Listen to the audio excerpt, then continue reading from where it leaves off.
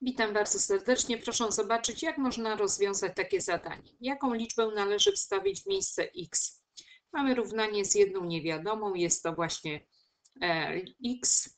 I teraz, e, ponieważ x jest e, po lewej stronie ujemne, więc x przerzucimy na drugą stronę równania, żeby było dodatnie.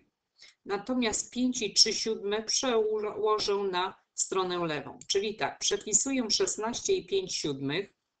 Teraz przeniosę sobie na lewą stronę, to będzie minus 5 i 3 siódme, ponieważ tu było dodatnie, przenosząc na drugą stronę, to będzie już ujemne.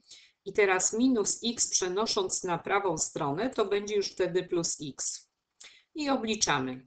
16 i 5 siódmych odjąć 5 i 3 siódme, czyli 16 odjąć 5 to jest 11.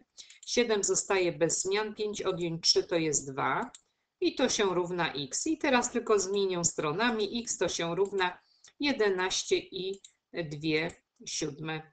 Dziękuję bardzo i życzę miłego dnia.